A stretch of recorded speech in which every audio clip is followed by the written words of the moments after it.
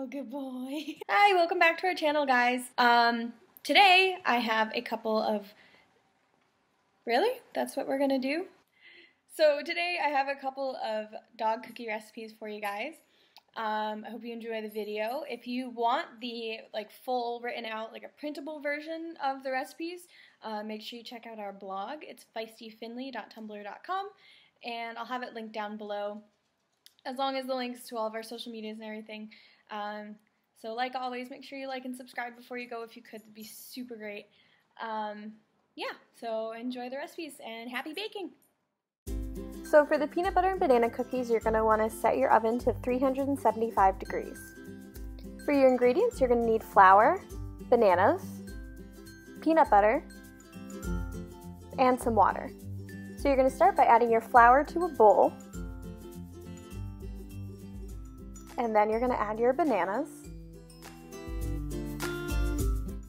and then the peanut butter, and then the water. And then you're just gonna mix it well until it's combined. I used an electric mixer.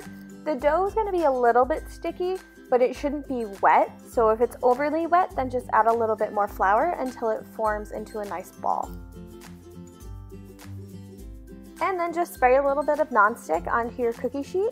And I use a dough baller and just scoop some little dough balls onto the cookie sheet. Um, but if you want, you could definitely roll the dough out and use little cookie cutters to make fun shapes.